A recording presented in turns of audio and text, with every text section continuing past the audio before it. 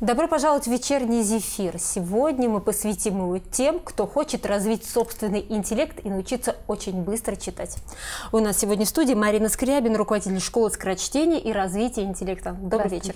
Здравствуйте, Анна. А, вообще, когда люди начали задаваться а, вопросом о том, как научиться быстро читать? Но мне кажется, это актуально было для всех всю жизнь, mm-hmm. потому что очень много профессий связано с, большим обработкой, с большой обработкой информации, очень э, много детей, подростков, которые получают знания в школе, в институте. Соответственно, так как мы с ней сталкиваемся, скорочтение, оно помогает освоить это все быстрее. А школа скорочтения во Владимире. А что из себя представляет и только ли про скорочтение идет речь?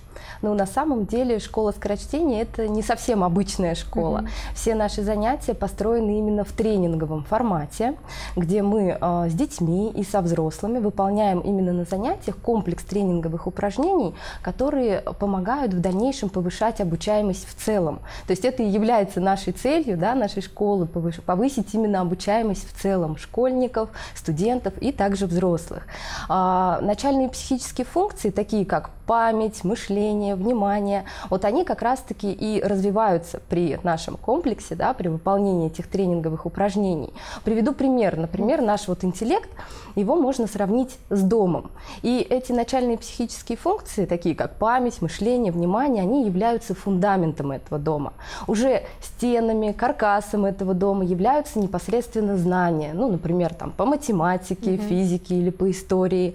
А уже крышей является практика практические какие-то навыки, то есть, например, как решить какую-то конкретную задачу по алгебре. И если у дома фундамент не настроен или сломан, то, соответственно, уже и стены, и крышу не получится возвести. То же самое и с нашим интеллектом. То есть, если начальные психические функции памяти, концентрации внимания, мышления не настроены, то уже и знания мы на них крепкие построить не можем. То есть нужно начинать с самых азов, что как раз-таки важно и для школьников. Почему все-таки мы делаем больше акцент на детях, чтобы с самого начала э, научить их учиться правильно. IQ проверяете? Проверяем на определенном тренинге именно по логике. Там как раз-таки именно тест IQ является замером показатели эффективности. Угу. А как проверяете вот тот самый как раз базовый фундамент, да, на чем угу. держится этот дом, какие тоже системы есть, как выявляете? А, ну, есть определенные замеры. Естественно, по скорочтению это скорость чтения и обязательно понимание прочитанного текста. То есть нет такой цели научиться читать быстро и ничего не понимать. То есть обязательно всегда считаем именно понятый текст. А, в курсе по памяти, соответственно, здесь уже у нас идут э, другие направления, да, такие как зрительная, слуховая, пересказ. А, в логике это тест IQ. По математике есть разные ступени. Там, естественно, смотрим, насколько ребенок э, количественно да, решает примеров и скорость решения. И в письме также, то есть это либо красивое письмо, тут уже явно можно посмотреть, что было, что стало. И также есть еще скорописание, где мы замеряем скорость письма у ребят. Угу, угу. А сегодня для школы, вот для того, чтобы быть успешным в обучении, в учебе, какие навыки просто ведущие? Ну, вообще, скорочтение – это такой основной, угу. скажем, навык, да, потому что чтение всегда было такой основой основ. То есть э, даже если не на литературе, даже взять ту же самую математику, если ребенку условно дали несколько задач каких-то, да, на контрольный, пять, например, задач, он пока одну прочитает, пока поймет, пока он ее решит. Если он быстро не прочитает и не поймет, что от него требуется, он успеет, например, решить три задачки. Да? Если, соответственно, он владеет какими-то техниками быстрой обработки информации, чтения, понимания, тогда он сможет сделать все. Вот, поэтому чтение, оно именно такой, скажем, главный навык абсолютно во всех предметах. Угу. А вы, уважаемые телезрители, замечали, что ваш ребенок вроде бы читает, вроде бы весь объем работы выполняет, но ничего не запоминает. Об этом сразу после ролика. Ваш ребенок медленно читает, а то, что читает, практически не запоминает. От этого страдает успеваемость в школе. Ребенок много времени тратит на уроки. Эти проблемы можно легко решить. Школа скорочтения и развития интеллекта у детей по методике Шамиля Ахмадулина поможет вам в этом. Всего за 10 занятий ваш ребенок гарантированно научится читать минимум в два раза быстрее и сможет с легкостью пересказать прочитанный материал. Мы настолько уверены в эффективности нашей методики, что вернем вам деньги в случае, если у ребенка не будет результата. Благодаря нашей авторской методике ваш ребенок станет быстрее делать уроки, и его успеваемость в школе вырастет. Оставьте заявку на бесплатную консультацию прямо сейчас. С нами ваш ребенок гарантированно научится читать быстрее уже через две недели.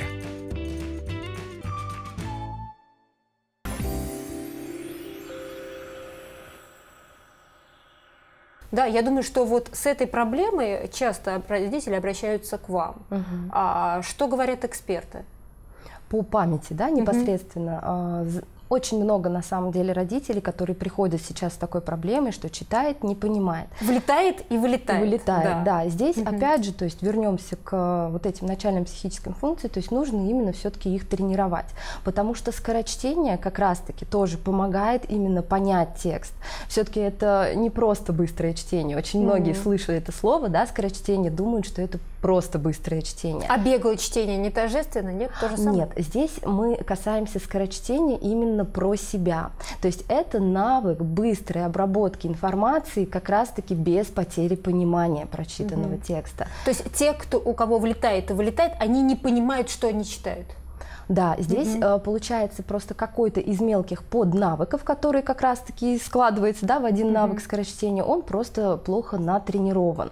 То есть э, из чего складывается да, навык скорочтения? То есть мы обязательно тренируем поле зрения, чтобы ребенок или любой человек да, видел строку, слова или целую страницу шире. Это также мы убираем артикуляцию, потому что когда мы читаем про себя, но в этот момент шевелим губами или проговариваем, соответственно, наш мозг думает, что мы читаем вслух, угу. и мы сами себя замедляем. То есть мы а, также можем в этот момент не понимать да, некоторых прочитанных вещей. Также это как раз-таки память нужно обязательно тренировать. И еще обязательно межполушарные связи. То есть это синхронизация полушарий головного мозга, определенные упражнения, которые дают как раз-таки большую эффективность именно, именно в привитии какого-либо навыка или в получении знаний. А какие результаты и как быстро они достигаются? Когда родители, собственно, увидят, что ребенок уже, вот, да, он может пересказать, он может быстро прочитать, и он понимает о том, угу. что угу. прочитывает. А, здесь у каждого, конечно же, индивидуально, но вообще самым минимальным именно количеством занятий это является 10. 10-12, то есть именно после такого количества занятий часовых, с условием того, что ребенок тренируется хотя бы по 15 минут еще дома ежедневно, то можно уже увидеть прям крутые результаты, то есть минимум в 2, а то и в 3, и в 5, и в 10 раз были да, такие результаты у ребят. То есть э, дети начинают именно читать быстрее, именно с учетом понимания. То есть, например, если ребенок прочитал 100 слов по началу, да, когда к нам пришел, но ответил только на половину вопросов, то мы ставим начальный именно результат 50, то есть именно понятый текст. Ну и, соответственно, то же самое считаем по окончанию. И сравниваем, что было, что стало. Интересно, что же там происходит внутри, когда у человека да, вот этот навык вырабатывается скорочтения? Ой, здесь очень много задействовано на самом деле процессов, да, вот этих вот поднавыков, про которые я уже сказала. И если э, каждый из них хорошенечко именно потренировать, то все это и сложится, да, в один вот хороший навык э, скорочтения. Также хочу сделать именно акцент на том, что ребенок может не понимать прочитанный текст именно тогда, когда он торопится, но читает еще по слогам. Здесь очень важный такой момент, что скорочтению про себя овладеть может только тот тот человек, тот ребенок, который читает уже полным словом. Ну, например, да, вот как mm-hmm. работает наш мозг. Например, э, прочитываем э, слово мальчики. Мозг делает сигнал раз, два, три. Потом ребенку надо остановиться, повторить слово целиком про себя, и только после этого образ каких-то мальчиков, да, у всех разных, в голове он уже появляется. Если же ребенок прочитывает сразу мальчики, то и образ сразу появляется. Соответственно, когда дети в школе на технике чтения скорочтении, торопятся слоговые, либо за своими сверстниками торопятся и читают по слогам, но быстро-быстро-быстро, соответственно, эти образы, они просто не успевают складываться, и ребенок ничего не понимает, что он прочитывает.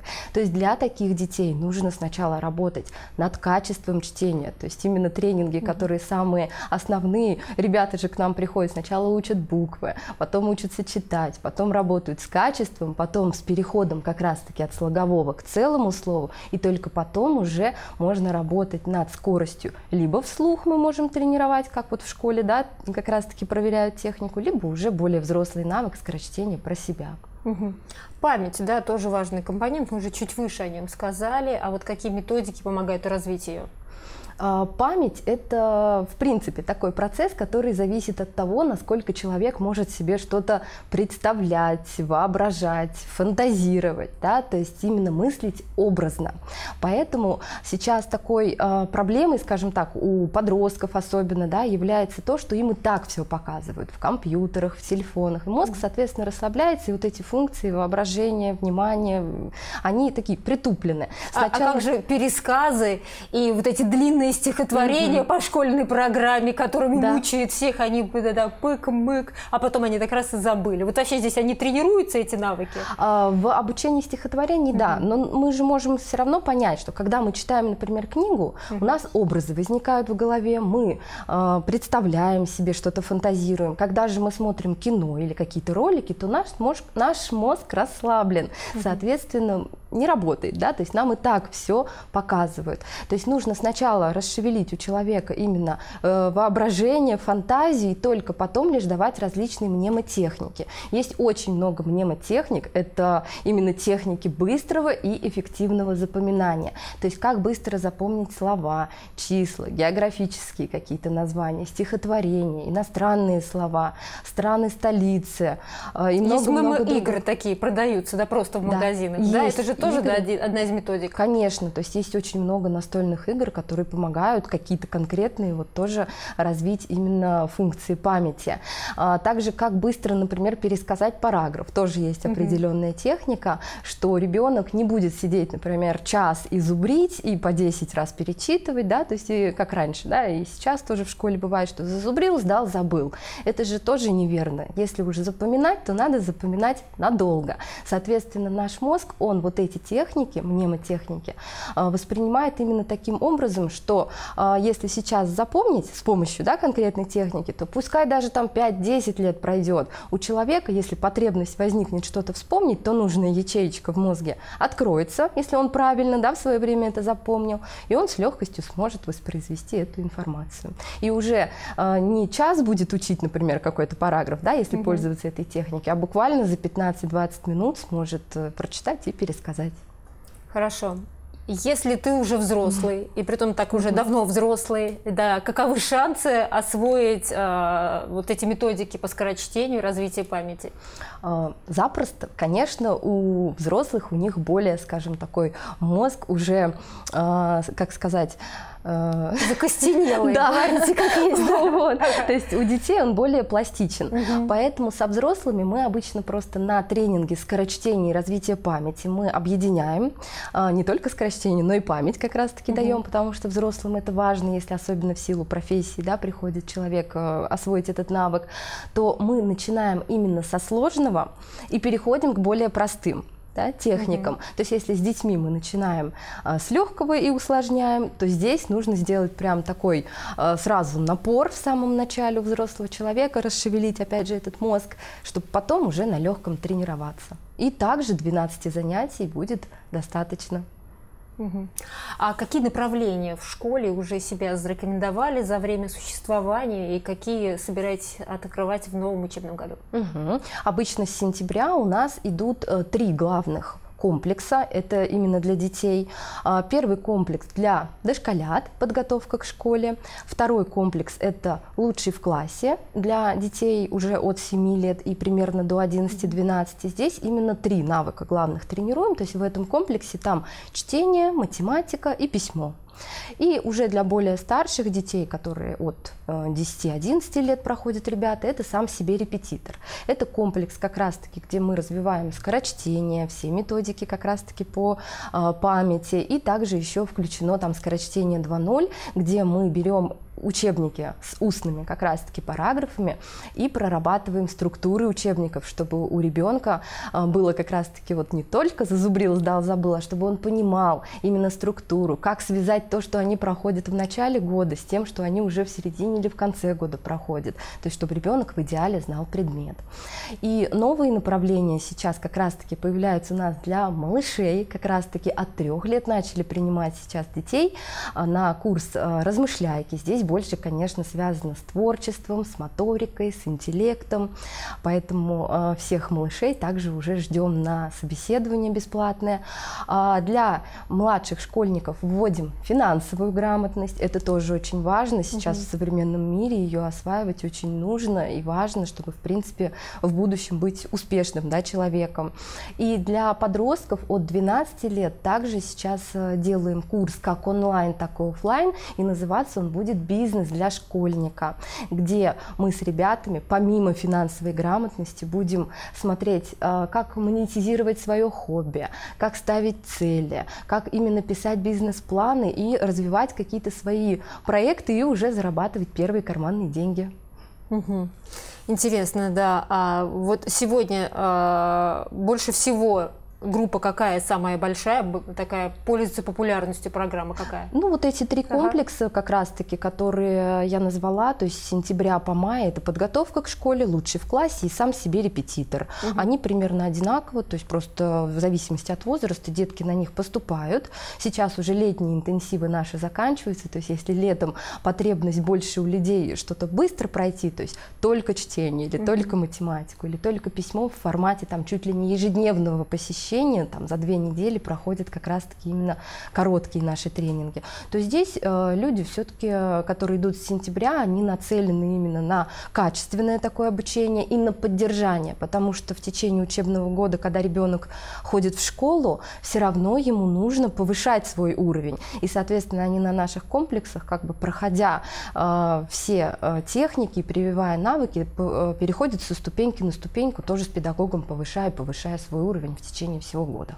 Давайте по содержанию самих угу. занятий, да, чтобы не сложилось впечатление у зрителей, что, знаете, это, это очень скучно развивать интеллект, да, что это пытка, также, такая же, как пересказать в школе текст. Да, расскажите о том, э, насколько, в какой атмосфере проходят занятия и, собственно, почему стоит попробовать и не бояться этого. Конечно, у нас дети ходят с удовольствием, потому что, во-первых, это все в игровой форме. Стараемся от позиции обычной школы уходить, то есть даже, например, они учителей у нас, у нас называют по имени, а, но на вы, да, без отчества. А, и дети именно а, не замечают, как пролетает у них урок, потому что вот эти тренинговые упражнения, о которых мы говорили ранее, они в динамичной форме, то есть одно, второе, третье, и настолько, скажем так, динамика высокая, что как раз-таки это является, во-первых, и эффективным, а во-вторых, это является неким даже релаксом для мозга, потому что смена деятельности с точки зрения нейропсихологии, она для мозга э, является, не, перетру, не перетруждает да, мозг, а наоборот именно его э, расслабляет. Поэтому играя, расслабляясь, э, дети получают как раз-таки вот эти навыки на всю жизнь. Угу. Нужно ли потом их дальше отрабатывать? Вот вы говорили про там, 10 условно занятий, угу. да, или какой-то курс, а, а дальше, может быть, опять мозг расслабится, да, как, как это мы сейчас уже наблюдаем, да, и э, придется обратно откатывать и э, вспоминать об этих тренингах.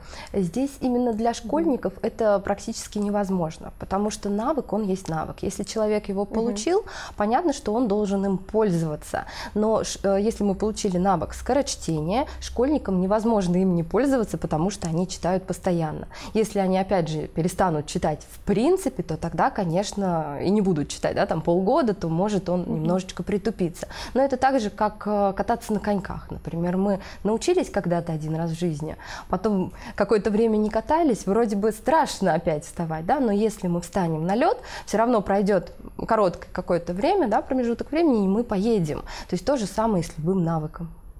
То есть если, например, мы не читаем, но вдруг взяли опять книжку в руки, то быстро-быстро этот навык, он вернется. Угу. А, ваши самые одаренные а, воспитанники, сколько они читают книг условно? В год, в месяц? Проводили такие исследования? По количеству книг, конечно, сказать не могу. Могу сказать именно по замерам, mm-hmm. которые были mm-hmm. да, у нас mm-hmm. в школе. То есть э, есть дети, очень это, конечно, одаренные дети, которые читали и до тысячи слов в минуту. Это именно про себя. Мы не говорим про чтение вслух. То есть именно про себя. Именно с учетом понимания. Вот, со стопроцентным пониманием. Вот. А так, конечно, в среднем, то есть если ребенок приходит к нам, ну, стандартный, да, школьник, например, читает там 60-70 70 слов в минуту, если брать, например, там второй класс, то э, в два раза как минимум мы даем гарантию, вот, а то и больше. Они по-честному, да? По-честному да. проверяют свой, вообще, свой навык чтения про себя. Вообще, в принципе, доказано, угу. что э, если брать все население Земли, не только угу. детей, но и взрослых, э, где-то 1-2% людей, которые читают 500 плюс слов в минуту. Поэтому, если вы читаете уже 500 плюс, то вы попадаете в этот вот 1-2% населения Земли. А так, пока, друзья, мы попадаем все в школу скорочтения, потому что если действительно такая статистика, то это, пожалуй, такой навык скорочтения просто каждому необходим. У нас сегодня в студии была руководитель школы скорочтения и развития интеллекта Марина Скрябина. Спасибо огромное, очень интересный получился сегодня разговор. Самое главное, теперь даже вот мне очень интересно освоить эту методику. Не просто заинтересовали, но и вот давно уже хотелось, но почему-то какие-то были сомнения, что уже во взрослом возрасте это сложно, это тяжело, просто неподъемно, но оказывается, видите, все иначе. Спасибо вам. И вам большое спасибо.